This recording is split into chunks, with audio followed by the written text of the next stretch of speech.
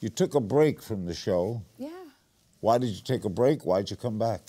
I took a break for one season only, only one season because my nerves were bad. Just to be honest with you, you know, I just keep it real and just talk to you like you know nobody else is here but us, me and you, right? Mm. Well, you the only one gonna know this, right? Okay, so I needed a mental break. I really did. I've been doing it since I shot the pilot for the show. Then I did the first season, the second season, the third, fourth, fifth, sixth, seventh, eighth. I mean, it was just a lot. I needed a mental break. And what did you do while you had the break? Um, took my wig off and relaxed.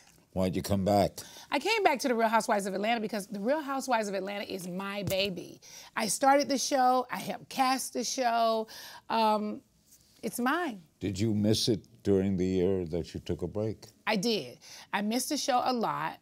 I hated watching it without myself on it because I want the show to be successful. You know, whether I'm on it or not, I wanted to be successful.